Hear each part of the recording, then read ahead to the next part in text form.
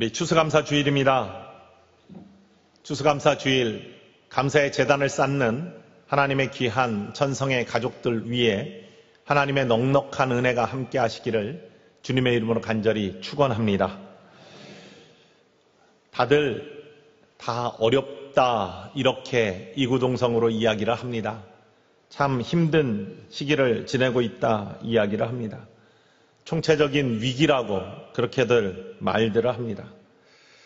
어, 한숨이 많이 나오고 그래서 감사가 사라질 만한 그러한 조건들입니다. 그런데 주변을 살펴보면 성경 안에는 더 어려운 상황 속에서도 감사가 넘쳤던 사람들이 있습니다. 기독교의 역사에도 수많은 믿음의 선진들이 정말로 더 어려운 형편 속에서도 감사와 찬양을 끊이지 아니한 그러한 모습들이 있습니다. 지금을 살아가는 우리들 중에도 정말로 보기에는 상황으로 따지면 너무나 어려운데 그럼에도 불구하고 하나님께 예배하고 찬송하고 감사하는 그러한 모습을 가진 사람들이 있습니다. 이들의 공통점은 없는 것을 바라보는 것이 아니라 하나님이 주신 것을 또 있는 것을 바라보며 감사하는 사람들입니다.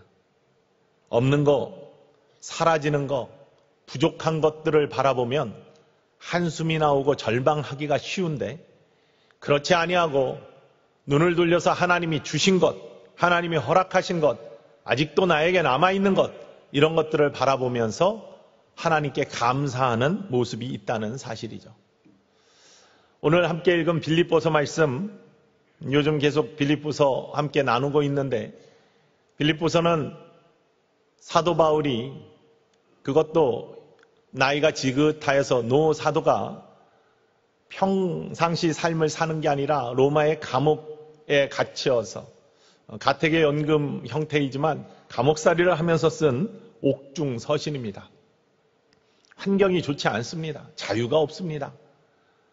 아마도 연세가 들어가가지고 이제 편히 쉬고 또 자유를 누릴 만한 그러한 모습일 터인데 그런 것들이 다 없어진 상태에서 감옥살이 하면서 편지를 이 교회 저 교회에 쓰고 있는 사도 바울의 모습은 아마 우리가 상상할 때 참 마음속에 기쁨이 없겠구나 생각하는데 그렇지 않습니다.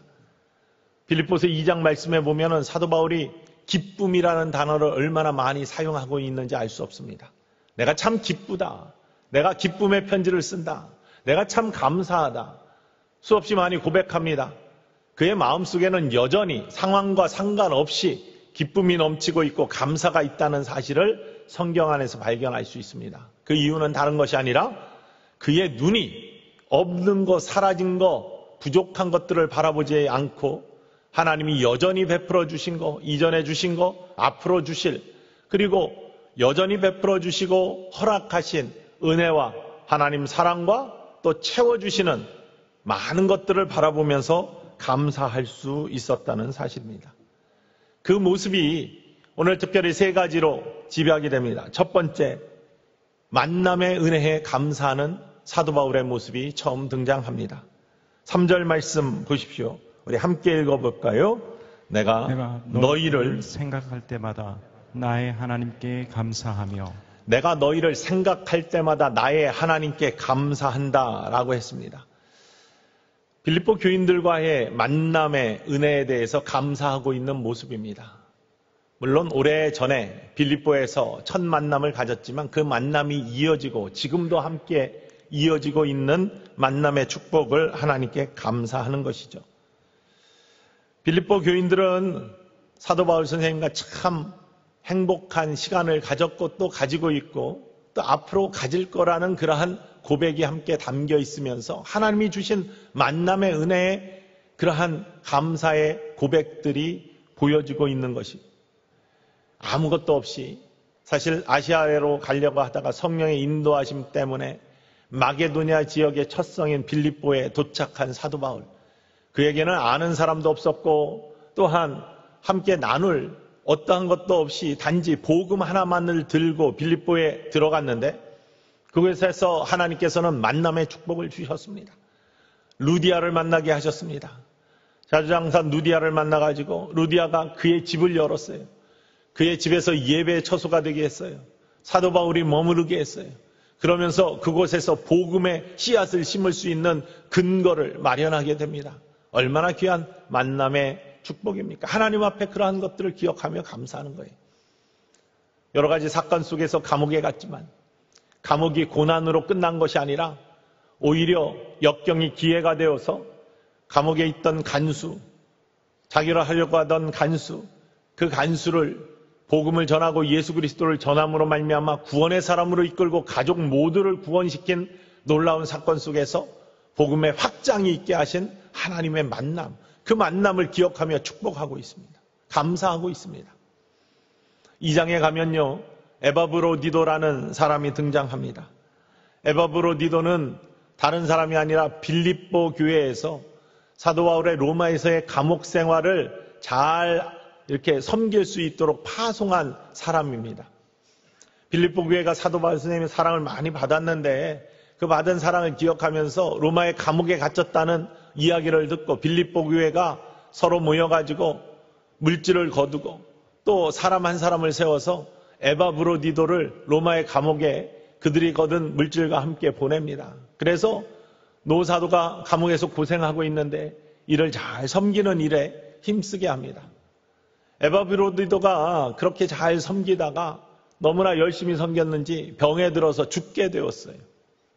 그런데 모든 빌립보 교인들이 위에서 기도하죠. 걱정되니까. 뿐만 아니라 사도 바울도 자기를 섬기러 온 그 귀한 영혼 이대로 죽으면 안 된다. 하나님 앞에 간절히 간절히 기도합니다. 그래서 그 에바 브로디도가 병이 회복되어서 죽을 병으로부터 회복되어서 온전함을 이루어요. 너무나 기쁩니다. 빌립보 교인들도 확인하고 싶고 만나고 싶고 사도 바울이 에바 브로디도를 다시 빌립보로 보내면서 가서 만나서 기쁨을 나누고 나의 소식을 전하고 예전의 만남으로 끝난 것이 아니라 여전히 이어지고 있는 만남의 은혜의 축복을 하나님 앞에 감사하고 있는 모습이 빌립보서에 등장하고 있는 거예요. 여러분, 우리들도 저도 1년을 돌아보니까 얼마나 귀한 만남의 축복이 있었는지 알 수 없습니다. 우리 천성교회 와서 귀한 천성교회 성도님들 만나게 하신 것이 하나님의 은혜이고 축복이고 감사의 제목인 것을 여러분 앞에 고백합니다. 정말로 귀한 만남. 사실 오랫동안 미국 생활을 하다가 고국으로 돌아와서 목회를 다시 하게 되었는데요. 여러 가지 낯선 것들이 참 많습니다. 특별히 문화에 대한 낯섦이 있습니다. 처음에 미국 갔을 때 미국 낯선 문화 때문에 굉장히 당황한 적이 많습니다. 적응하느라고 오랜 시간이 걸렸습니다. 뭐 수업에 들어갔더니 껌을 씹고 있는 것은 기본이고 뭐 햄버거 먹으면서 수업을 들어요. 스낵 바삭바삭 소리 나는데 교수님도 아무렇지도 않고 학생들도 아무렇지도 않고 참 이상하다. 한국에서는 있을 수도 없는 일인데 그런 것들을 바라보면서 정말로 낯설더라고요. 이런 것들 익숙해지는데 한참 걸렸거든요. 그런데 뭐 그리고 yes, no 이거 구별하는 거 많이 실수했습니다. 그러면서 지내면서 익숙해졌는데 다시 이제 한국에 돌아와서 보니까 또 낯섭니다. 다시 거꾸로 낯습니다. 그래서 변한 것도 많고 교회 문화도 많이 변해 있고 이런 낯섦 가운데 우리 사랑하는 성도님들 만나서 격려해 주시고 기도해 주시고 이 낯섦을 헤쳐나갈 수 있는 힘 주시고 얼마나 귀한 만남의 은혜이고 격려이고 또 하나님의 축복인지 알 수 없습니다. 돌아보니 감사할 것밖에 없는 것을 고백합니다. 교회에 어려움이 있었을 때 함께 기도하면서 예배 자리를 지켜주시고 또한 격려하면서 서로 힘이 되어서 지금의 우리가 있게 한 그러한 많은 나눔들 하나님 앞에 얼마나 귀하게 감사하지 아니할 수가 없습니다. 감사에 정말로 들 올려드리는 찬양이 될 수밖에 없는 것이죠. 코로나 정말 생전 듣도 보지 못한 그런 경험해 보지 못한 우리의 상황들을 만나가지고 모두가 어려움을 겪습니다. 그럼에도 불구하고 여전히 믿음을 지켜가면서 하나님 앞에 예배드리고 성전을 지키고 성전을 사랑하고 또 힘든 경우에는 가정에서 전성의 재단을 지키면서 함께 믿음의 고리, 기도의 고리들을 끊지 아니하고 앞으로 나아가고 있는 사랑의 사람들, 이 만남의 축복이 얼마나 귀한지 알 수 없고 하나님 앞에 감사하지 아니할 수가 없습니다. 여러분, 이러한 여러분 주변에 만남에 있는 것, 사라짐이 있지만 사라짐보다도 새로 만나게 하시고, 새로 알게 하시고, 새로 이기게 하시는 하나님의 은혜에 감사할 수 있는 우리 모두가 되기를 주님의 이름으로 간절히 축원을 드립니다. 두 번째 모습은 기도할 수 있음에 감사하는 겁니다. 사도 바울이. 너희를 생각할 때마다 기도한다라고 고백하죠. 하나님께 기도할 수 있어서 감사하는 거예요. 중보할 수 있는 사람들이 있어서 감사하는 것입니다.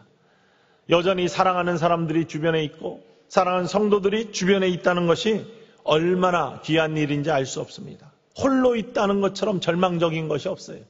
그러나 우리에게는 영원히 변하지 아니하시는 우리를 사랑하시는 하나님이 계시고요.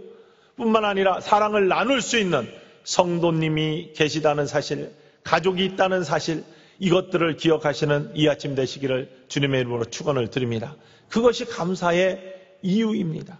4절 말씀 보십시오. 뭐라고 되어 있습니까? 크게 함께 있습니다. 시작. 간구할 때마다 너희 무리를 위하여 기쁨으로 항상 간구함은 기도할 때마다 기쁨으로 기도하는 그냥 기도하는 게 아니라 기쁨으로 기도한다. 기쁨 안에는 감사가 함께 담겨 있는 것이죠. 기도할 하나님이 내 기도를 들어주신다는 믿음이 있을 때 감사가 있는 거예요. 기도할 대상, 중보할 수 있는 사랑하는 사람들, 가족들, 자녀들, 또 성도들이 함께 있다는 사실이 얼마나 귀한 일인지 알 수 없습니다. 여러분, 우리들의 삶에서 많은 경우 사라지는 것이 많습니다. 가족도, 또 교회, 교인들도, 친구들도 많이들 사라집니다. 가족도 헤어집니다. 하늘나라 가시고, 또 멀리 떨어져 살고, 이렇게 헤어집니다. 친구들도요, 예전에 있던 친구들의 폭에 비하면 나이가 들어갈수록 친구들의 폭이 줄어들게 되어 있습니다. 누구나 다 경험하는 겁니다. 뿐만 아니라 교회 소속, 소청을 하시는 분, 이사 가시는 분, 뭐 이렇게 떠나시는 분, 이 교회도 교회들이 요즘 특별히 현대 교회들이 전부 다 서구건 한국이건 줄어들고 있습니다. 그러나 그런 가운데서도 하나님이 새로운 만남 주시고 새로 채워 주심의 은혜 있고 여전히 남아 있는 자들이 있고 옆에 함께 신앙생활하면서 기쁨을 나누고 기도를 나눌 수 있는 사람이 있다는 사실 그것 하나만으로도 하나님께 감사할 수 있기를 주님의 이름으로 축원을 드립니다. 정말로 귀한 모습들 없는 것을 바라보지 말고 사라지는 것을 바라보지 말고요. 남아 있는 거, 다시 주시는 거, 채워 주시는 그 모습을 바라보면서 하나님께 감사할 수 있기를 주님의 이름으로 간절히 축원을 드립니다. 그리고 세 번째로는요. 예수님이 동행하심에 대한 감사입니다. 예수님이 우리와 동행하심이 끊어지지 아니하는 모습. 항상 우리와 함께 하시는 모습. 5절 말씀에 이렇게 고백합니다. 함께 크게 읽습니다. 너희가 첫날부터 이게 이제까지 복음을 위한 일에 참여하고 있기 때문이다. 복음을 위한 일에 참여하고 있는 사람들이 함께 있는 공동체, 이게 교회입니다. 우리는 모두 복음을 위한 일에 참여하고 있는 사람들입니다. 하나님이 부르신 사람들입니다. 구원의 사람들입니다. 한 믿음을 가지고 한 성령 가운데 한 복음의 선포자로서 그 복음을 믿는 사람들, 한 예수 그리스도를 주인 삼은 사람들이 바로 우리들이고 한 공동체로 불러주셔서 천성교회, 우리 교회를 섬기고 있는 것이 바로 저와 여러분들인 것을 믿으시기를 바랍니다. 그 함께하는 믿음의 공동체 얼마나 귀합니까? 그렇게 이곳에 함께 하시는 예수 그리스도께서 우리의 주인 되시기 때문에 우리와 함께 하시고 우리를 인도하시는 그 예수 그리스도와 동행하는 우리들이 얼마나 귀한지 그것을 감사하는 것이 사도 바울의 고백입니다. 빌립보 교회에서 만나게 하시고 믿음의 끈이 끊어지지 않게 하시고 서로 위에 기도하게 하시고 한 주님을 섬기는 믿음의 공동체로서 이루어 주신 빌립보 교회로서의 아름다운 모습 이걸 감사하는 겁니다. 우리도 마찬가지죠. 전석교회에서 만나게 하시고 서로 섬기게 하시고 한 교회를 하나님의 영광을 위해 섬기게 하시고 또한 그곳에서 예배하게 하신 하나님의 은혜를 생각하면서 이 시간 감사할 수 있기를 주님의 이름으로 축원을 드립니다. 다른 무엇보다도 십자가의 은혜로 십자가의 사랑으로 십자가의 구속의 피로 우리들을 정케하셔서 믿음의 사람으로 회복시켜 주시고 한 교회에서 한 주님을 섬길 수 있게 하신 하나님의 은혜, 주님이 동행하신의 축복을 기억하면서 이 추수감사주일에 없는 것이 아니라 우리에게 허락하신 우리에게 정말로 풍성하게 채워주시는 하나님의 은혜를 기억하며 감사할 수 있는 복된 주일 되기를 주님의 이름으로 간절히 축원을 드립니다. 비교해 보십시오. 사도 바울 감옥 속에 있었습니다. 우리의 처지가 그만 못합니까?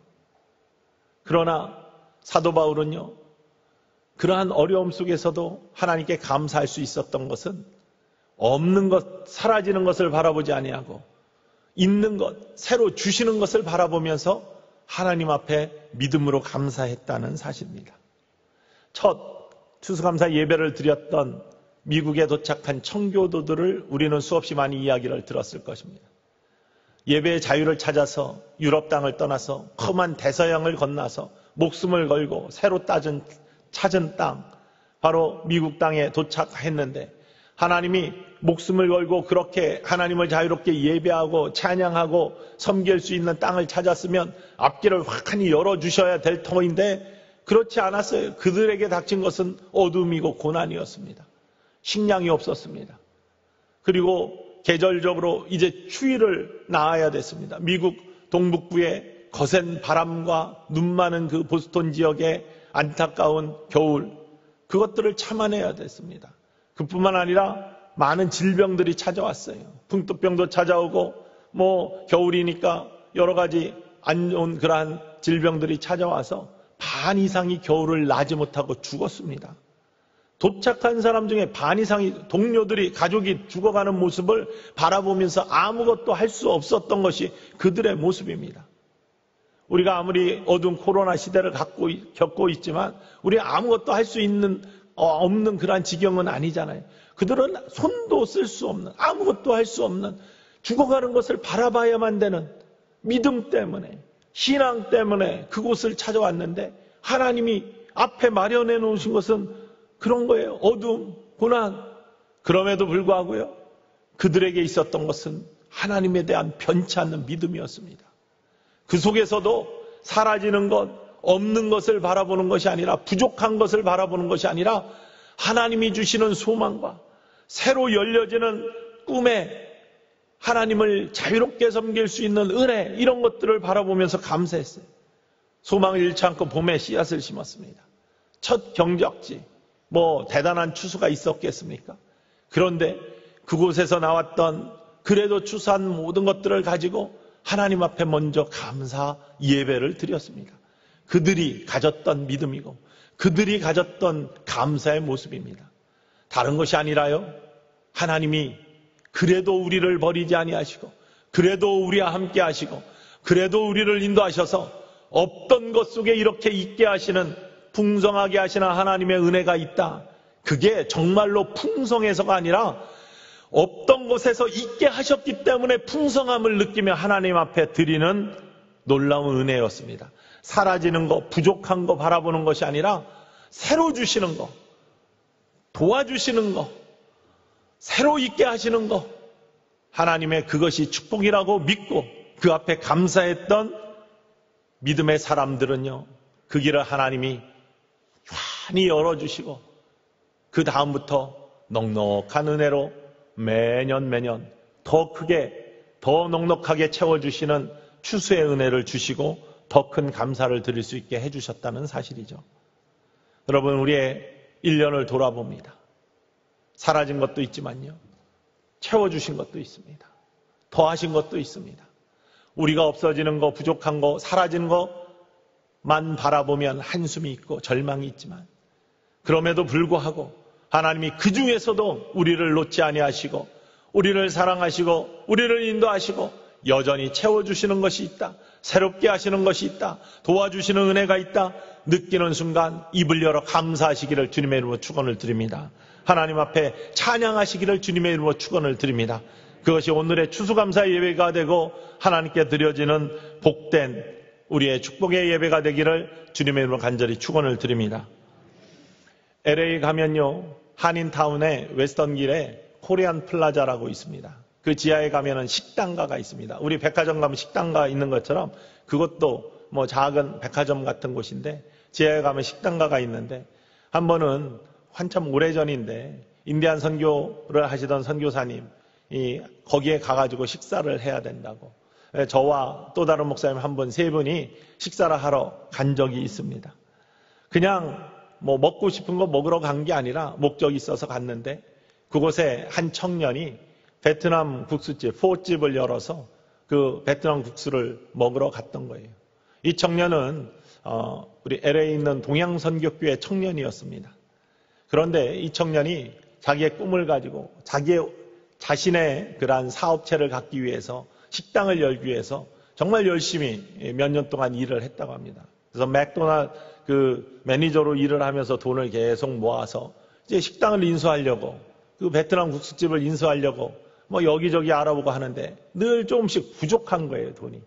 그리고 계속해서 가게에 뭐 이렇게 계약하는 것들이 자꾸 올라가니까 자기가 버는 거가 그것들을 못 미쳐가지고 계속해서 실망하고 실망하고 나는 왜 이렇게 부족할까? 나는 왜 이렇게 부족할까? 라고만 하면서 실망할 때마다 정말로 어, 마음속에 어둠이 깔리고 하나님 원망하는 그런 마음들이 생기고 내 열심히 기도하고 열심히 신앙생활하면서 어, 이렇게 가려고 하는데 왜 길이 안 열리는가라고 하면서 늘 부족함에 대해서만 이렇게 불평이 있었다고 합니다.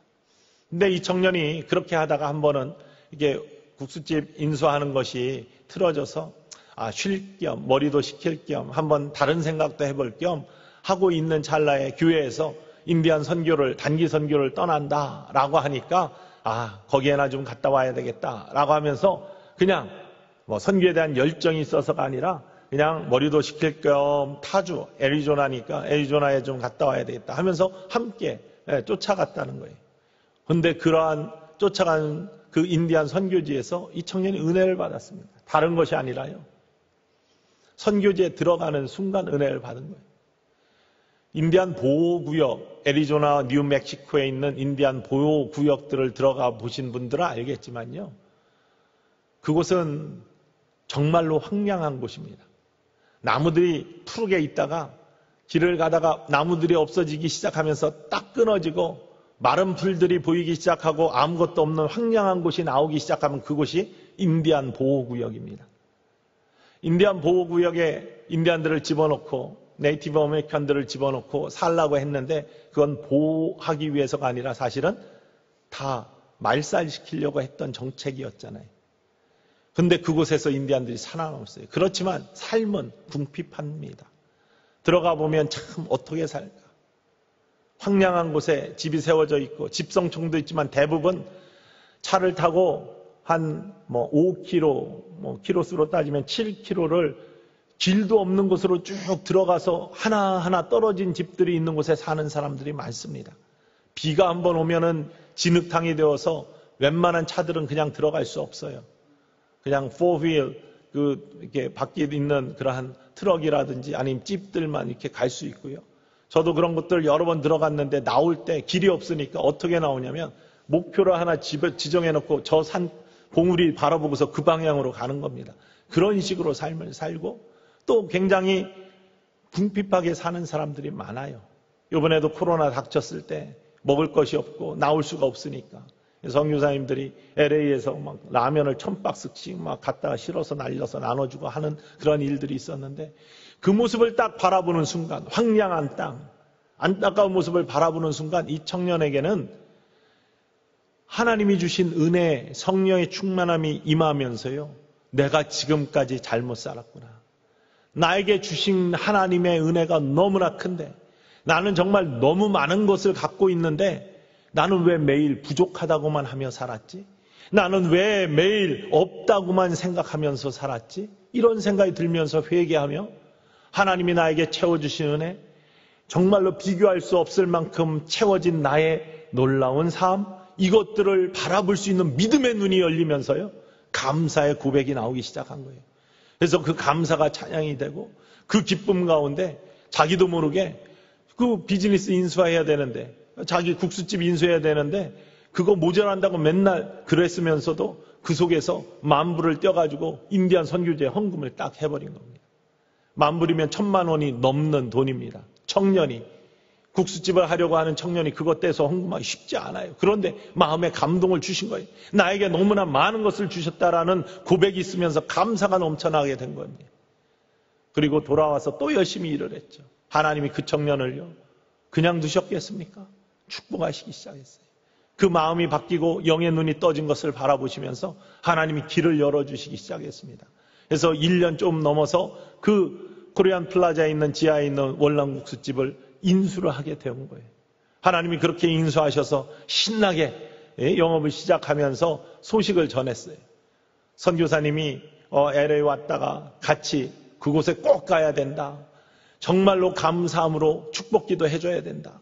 이 청년 하나님께서 축복하시고 길 열어주시고 채워주지 아니하시면 누구를 채워주냐?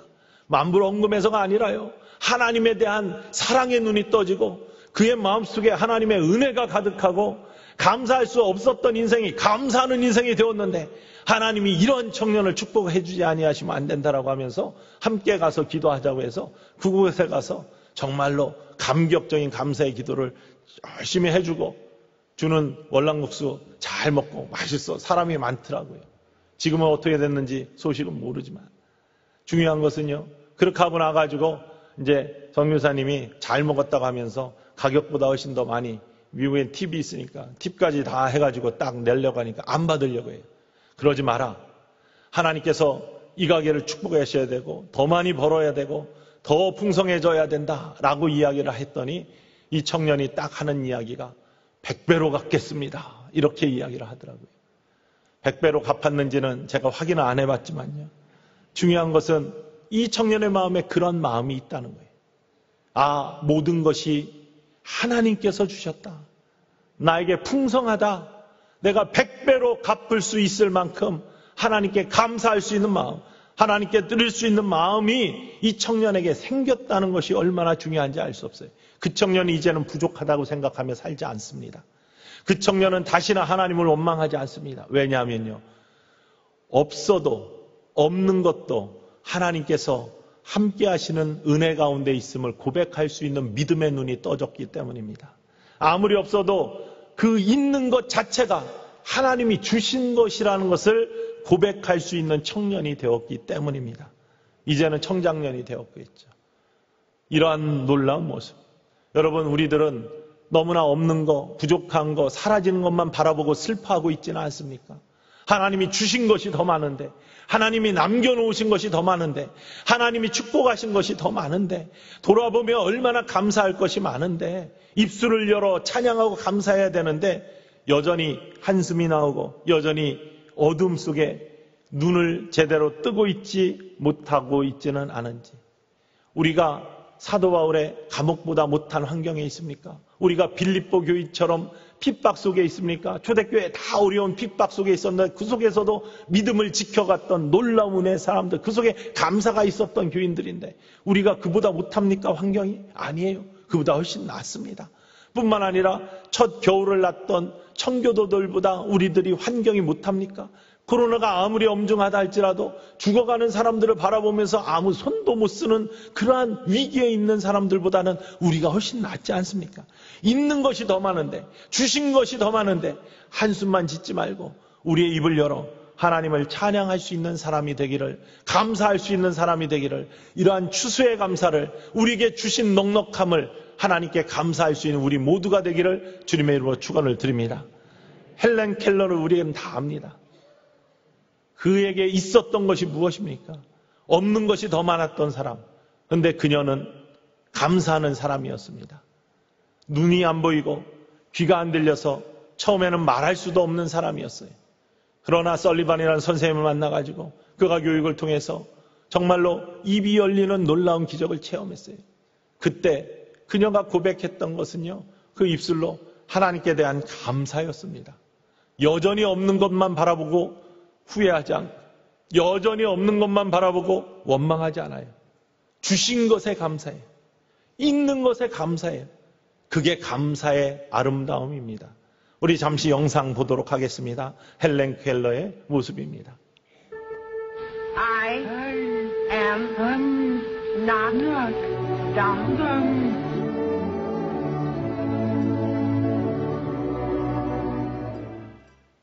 만약 인생에 불행이나 고통이 없다면 어떤 일에 참고 견디며 용기를 갖는 훌륭한 정신을 배울 수 없겠죠. 그래서 나는 내가 겪어야 하는 모든 괴로운 일과 슬픈 일 전부를 하나님의 선물이라고 여기며 감사하게 되었어요. 여호와여 주의 지으신 모든 것이 주께 감사하며 주의 성도가 주를 송축하리이다. 하나님께서 주신 가장 큰 고난의 짐을 기쁨으로 짊어질 줄 알았던 헬렌 켈러. 그녀는 고난을 통하여 예수 그리스도의 사랑을 몸으로 배웠고 그 사랑을 나눠줘야 할 거룩한 의무가 있음을 깨달아 남은 생애를 불행한 사람들을 돕는 일에 일생을 바쳤습니다. 그리고 그녀가 가진 유일한 소망 하나. 그것은 죽기 직전에 꼭 3일 동안만 눈을 뜨고 보는 것입니다. 첫째 날에는 나를 가르쳐 준 설리번 선생님을 찾아가 그분의 얼굴을 바라보겠습니다. 그리고 친구들을 찾아보고 산으로 가서 아름다운 꽃과 풀과 빛나는 노을을 보고 싶어요. 둘째 날에는 새벽에 일찍 일어나 먼동이 터오는 모습을 보고 싶어요. 저녁에는 영롱하게 빛나는 하늘의 별을 보겠습니다. 셋째 날에는 아침 일찍 큰 길로 나가서 부지런히 출근하는 사람들의 활기찬 표정을 보고 싶어요. 점심 때는 아름다운 영화를 보고 저녁 때는 화려한 네온사인과 쇼윈도의 상품들을 구경하고 집에 돌아와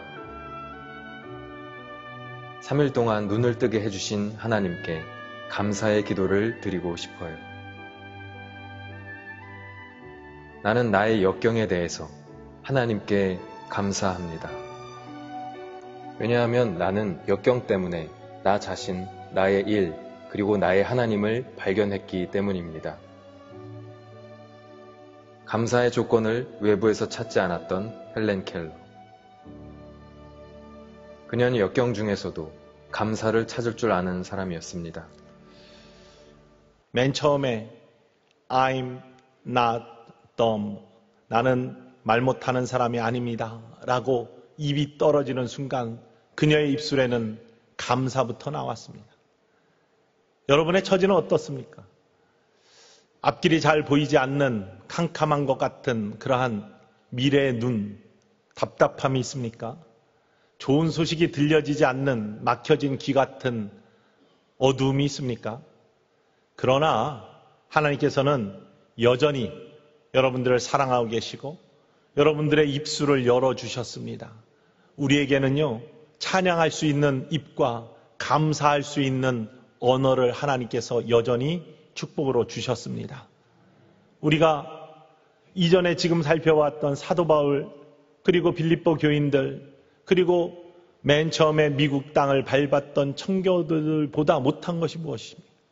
자꾸 없는 것을 바라볼 때는 안타까움과 또한 불안이 있지만 주신 것, 또 남겨진 것, 하나님이 허락하신 것을 바라볼 때 헬렌 켈러처럼 사도 바울처럼 청교도들처럼 감사할 수 있는 인생이 된다는 사실을 기억하면서 여러분, 여러분 주변을 보십시오. 하나님께서 사랑하는 사람, 만남의 축복을 주셔서 사랑하는 사람들이 주변에 있습니다. 기도할 수 있는 하나님이 계시고요. 기도해 줄 수 있는 중보의 대상자들이 있습니다. 뿐만 아니라 함께 신앙생활하는 복음을 함께 나누는 믿음의 동역자들이 있고 우리 천성교회가 있습니다. 그것에 감사하실 수 있는 우리 추수감사 주일에 감사가 넘치는 풍성한 여러분들의 삶 되시기를 주님의 이름으로 간절히 축원을 드립니다.